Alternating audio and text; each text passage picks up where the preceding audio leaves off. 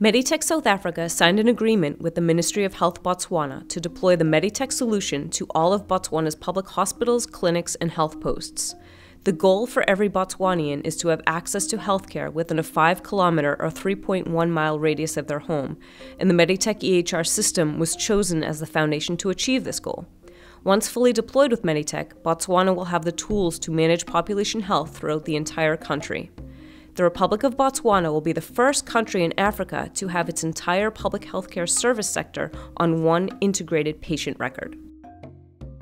The Ministry of uh, Health is wants every citizen of Botswana to have access to health within a radius of uh, five kilometers. We'll be able to cover all our hospitals and all our clinics and all our health posts.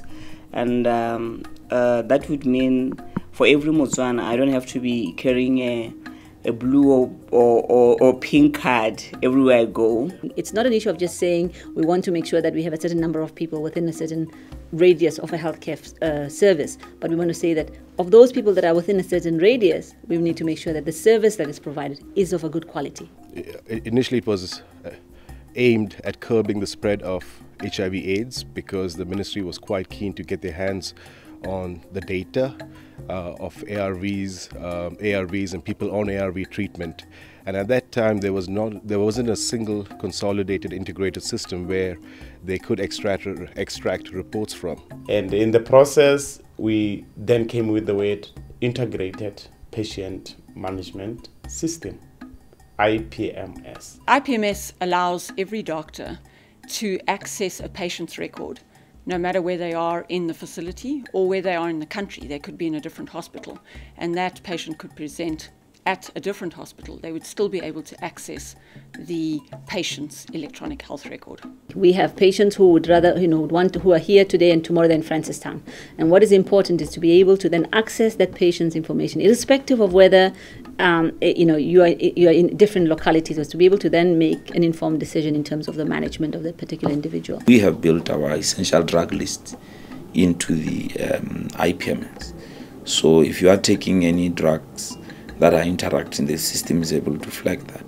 If a doctor in a ward has sent some specimen to the lab, it doesn't need to walk there to go and get the results. You just you know, click of a button in his office or in his ward, you'll be able to get those results. We had, we had, we had a young lady who was actually a case of trauma, road traffic accident, and she, was, she had an internal bleeding.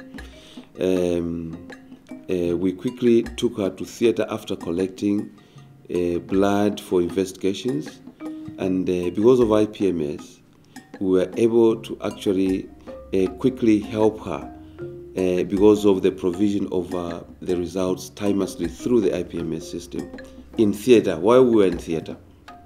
At first, people are usually resistant to computer systems because now they're used to the manual systems, the paper-based system.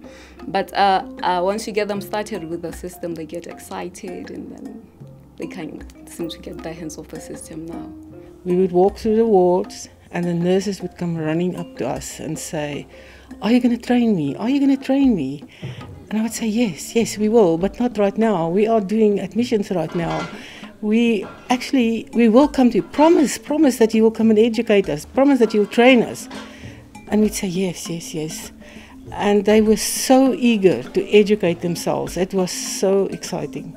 It makes it will make us proud if every person, whether it's a Motswana or a foreigner, has easy access to health care be it in the city, be it in the villages, or even in the tourist attraction areas. We're seeing ourselves positioned now for the rest of uh, our neighbors uh, or Africa as a whole, or even the, the entire world, to come and, and wonder how did you achieve that?